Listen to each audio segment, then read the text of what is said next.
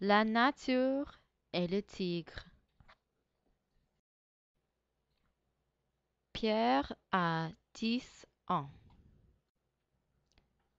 Caroline a neuf ans. Nous sommes des voisins. C'est l'automne. Il fait beau dehors.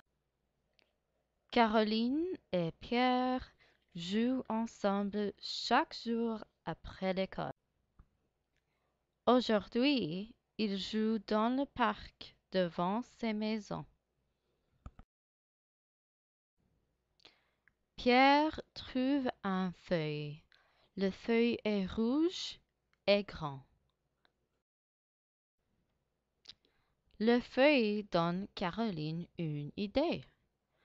Est-ce que tu veux faire un chef-d'œuvre des choses qui sont recyclables? Elle demande à Pierre.